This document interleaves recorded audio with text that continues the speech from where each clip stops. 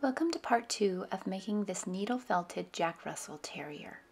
In this portion, we're going to be focusing on building up the basic body structure using core wool. I started by taking the core wool and wrapping it tightly around the armature. The tighter that you can wrap it, the less stabbing that you're going to have to do in the long run to get air out and make it more dense.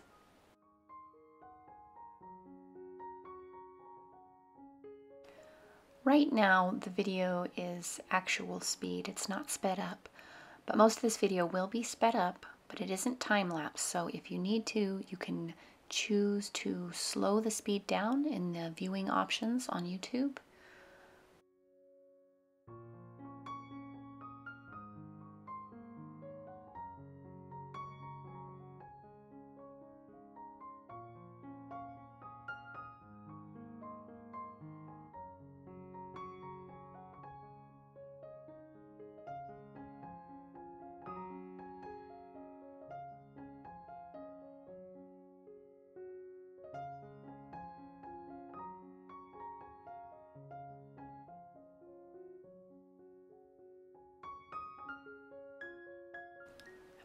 continue adding pieces of the core wool in small sections at a time. Each piece I will attach to the previous piece and wrap it very tightly and then felt it so that it's secure. I'm not going to focus on getting the entire thing super densely felted or perfectly smooth yet.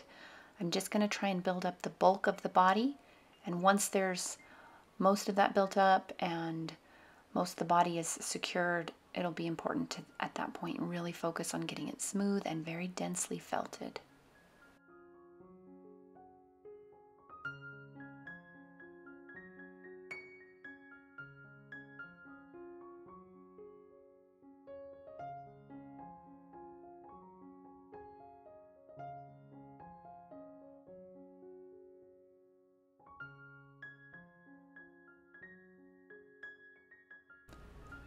One thing that's really important when you start to wrap the wool around the legs is to keep the legs very thin. In fact, I would recommend taking a smaller piece of wool than what I'm using right here so that you can really get thin legs. It's really easy to build up the bulk of the leg, but it is really hard to keep trying to felt too much wool more and more tightly just to make it look thin. Um, this is an okay amount. I can still work with this, but it, it's kind of pushing it a little and it'd be probably safer to start with less and just gradually build up the wool.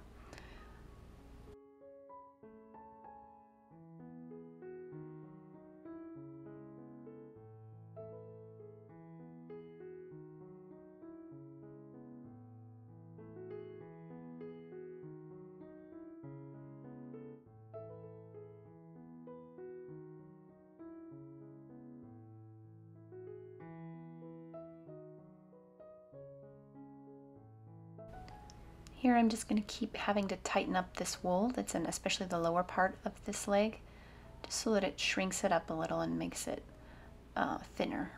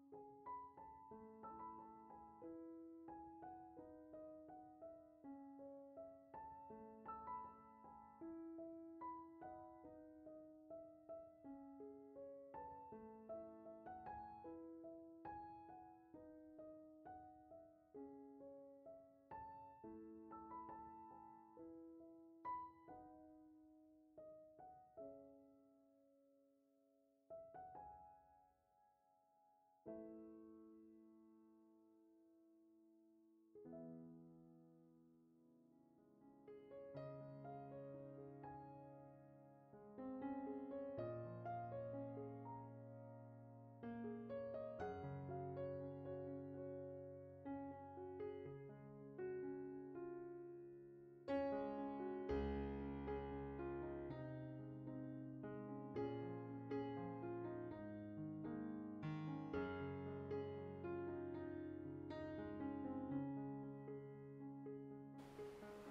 The upper portion of the dog's leg is thicker than the lower portion, so that's why in this section I've wrapped the wool a couple more times and I'm allowing it to be a thicker portion of the leg.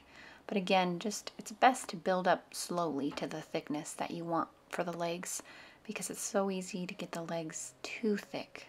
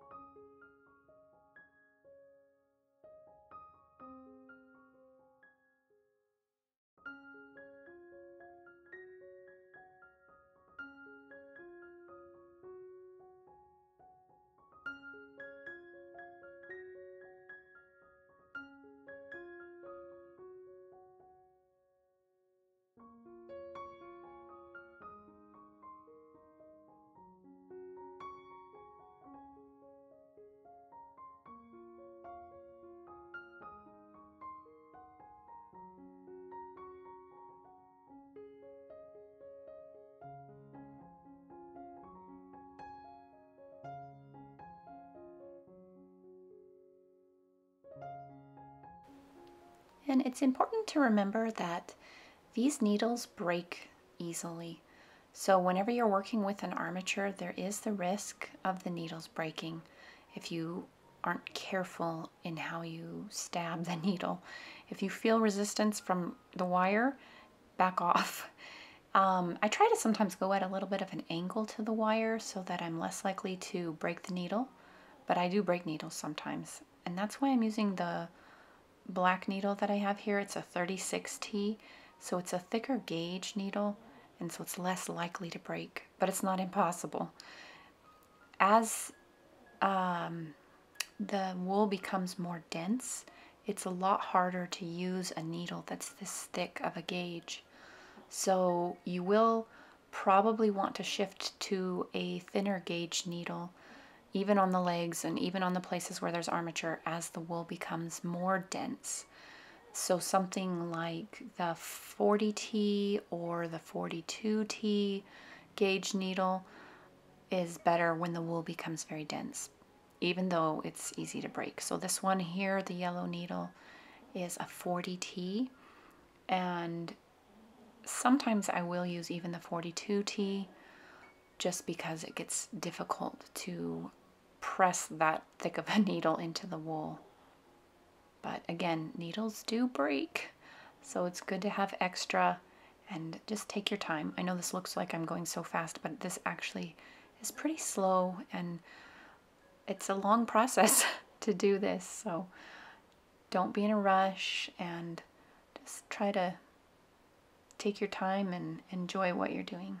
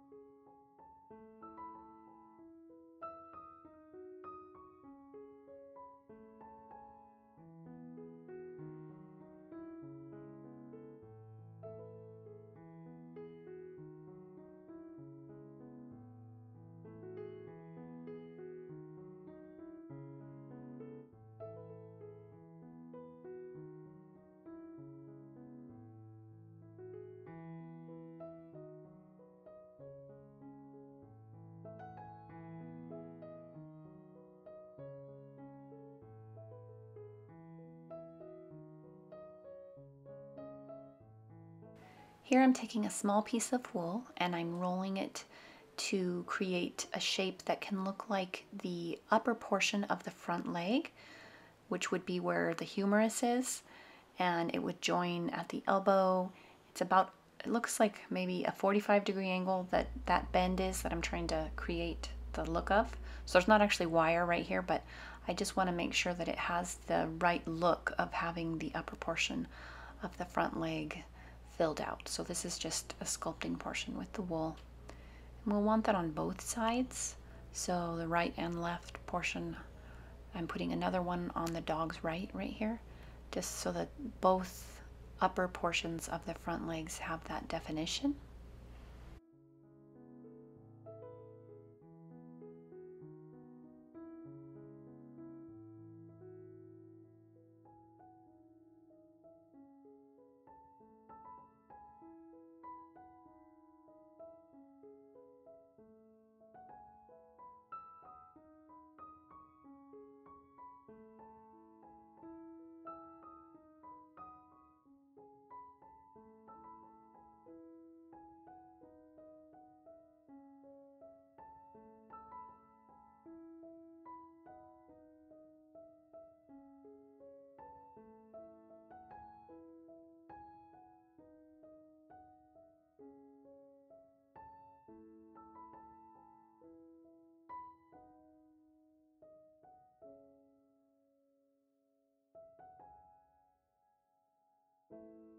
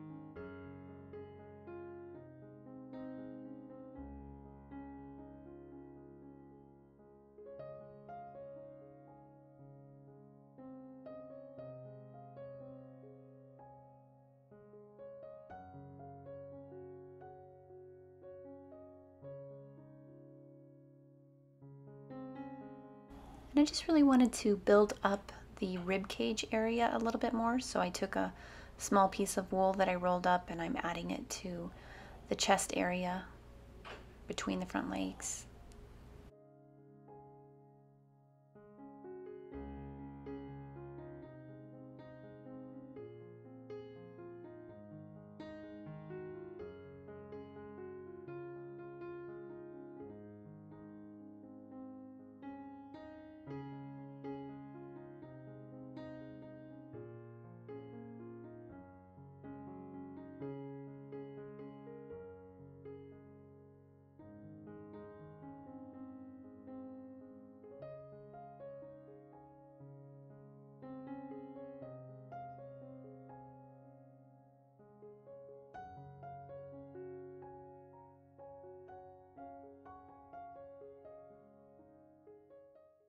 So just to take a look at what we have so far and the shaping that we have so far, just kind of blocking out the basic shapes of the legs and the rib cage and the uh, torso area. Now we're going to work on painting the eyes. I don't know exactly what color that brown is. I'm guessing it's some, maybe like a raw sienna. I'll try and figure that out and put it in the description. I'm blending it with black so that I can get a dark reddish brown for the eye color on this particular dog, but you can use whatever eye color you want for your dog. And once I get the color dark enough, I'm painting the back side only of these safety eyes. They're acrylic safety eyes. So when you paint just the back side, there's already a pupil that's there and you just paint the back side and let it dry.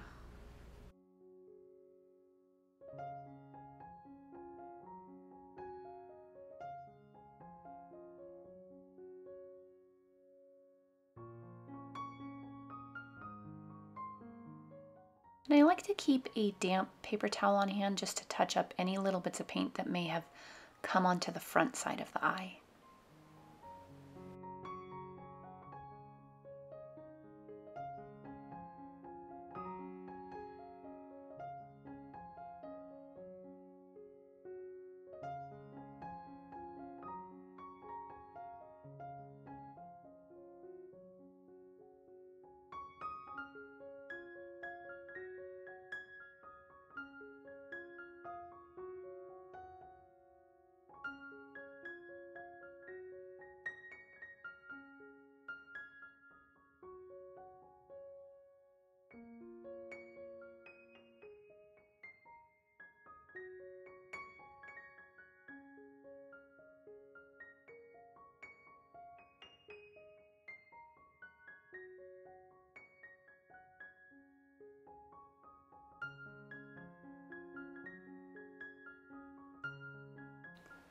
Just working on building up the thickness of the head at this point.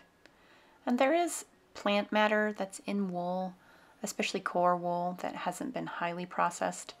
It is washed wool, but there's still sometimes little bits of alfalfa or grass that from time to time you just have to pull them out as you work on your project. Right now the head is really thick looking, but it's actually not very densely felted yet. So I will be making this a lot more narrow than it appears at the moment.